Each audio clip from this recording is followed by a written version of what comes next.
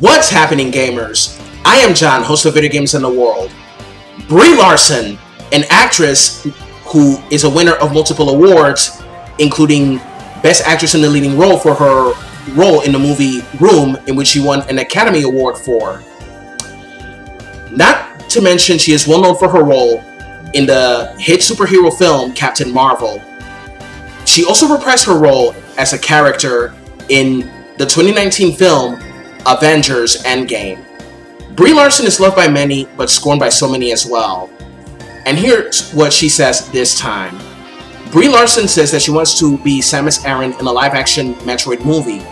But this isn't the first time she expressed interest in the role of Samus. In 2018, Larson posted a Halloween picture in the Zero Suit Samus costume, later saying she wants to make a Metroid film. The Metroid franchise has been very popular since 1986, and we've been and we've seen many of his successful titles like Return of Samus, Super Metroid, my personal favorite, Metroid Fusion, the Prime Trilogy, Other M was meh, but Federation Force was not my cup of tea. Although I loved the the fan-made remake called AM2R, another Metroid 2 remake, and the one made for the 3DS, Samus Returns. Awesome. For those who don't know the video game series, Metroid, it tells the story of bounty hunter and adventurer Samus Aran, who fights against the space pirates and use the parasitic organisms called Metroids to attack galactic civilization. She fights also against massive monsters, Kraid, and Ridley, her arch nemesis. Her final encounter is against the main antagonist and space pirate leader, her Mother Brain. If you ever played the NES game when you were a child, either in the 80s or 90s, then you should know that we all remember that iconic moment at the end of the game where Samus was revealed to be a woman and not your typical male hero. Samus Aran in video games is one of the many, many symbols of female representation and empowerment. She proves that women can be heroes and kick ass, and not just play the trope of a damsel in distress. In an episode of Animal Talking via Game Rant, the talk show within Animal Crossing New Horizons, Brie Larson was featured. The subject of Metroid came up, with Larson responding, I would love that so much to the idea of playing protagonist Samus Aran. Larson stated, She was always my character that I played in Super Smash Bros. and I just loved her. I definitely want to make that movie. Definitely want to participate in that. So Nintendo, once again, I'd love to do it. Well, I gotta say that she fits the role of Samus. Now, if a live action Metroid movie is to be made, which there's no announcement of it yet, then the producers should get people who know the story and lore of the series to help out.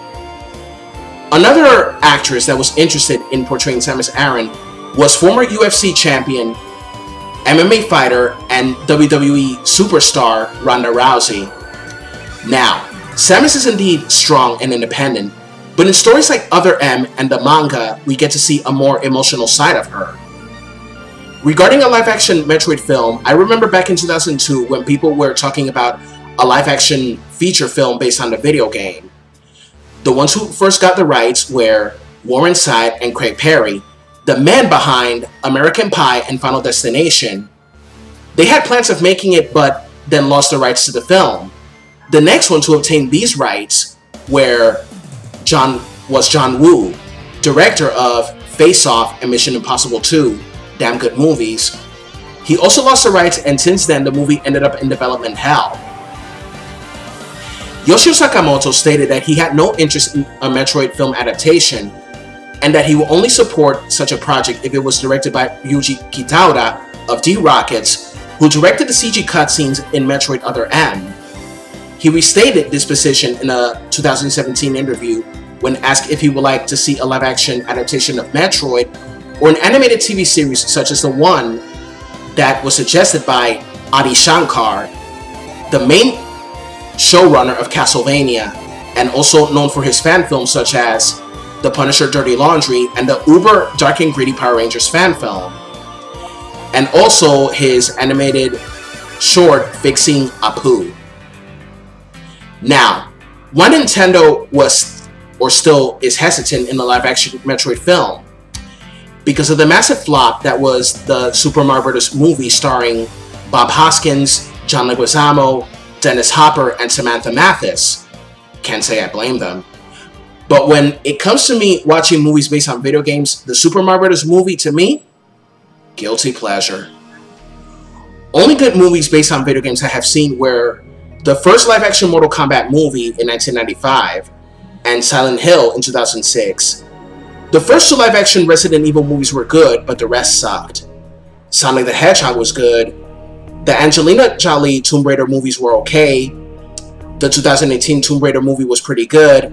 Street Fighter Assassin's Fist and Street Fighter Resurrection were true adaptations of Street Fighter. Now, the Warcraft adaptation was a total meh. The Spirits Within was not like like Final Fantasy at all. If they made a Final Fantasy movie, then it should have been adapted from at least one of the games. So screw the Spirits Within. Assassin's Creed, the live action movie, was meh. I hated the animus in that movie. It was stupid. But let it be known that the majority of live action adaptations of video games were so bad. The Mortal Kombat Annihilation movie, I hated it. Double Dragon sucked, and everyone's crush at the time was in it, Alyssa Milano. Street Fighter, the Van Damme movie, was lambasted. The Legend of Chun-Li was absolute dog crap. The Uwe Boll movies such as House of the Dead, Far Cry, BloodRayne, Dungeon Siege, Postal, and Siege didn't exist in the first place. Tekken, people didn't like it. Dead or Alive, nobody saw that. Prince of Persia, people hated it. Doom, people hated it. Doom Annihilation.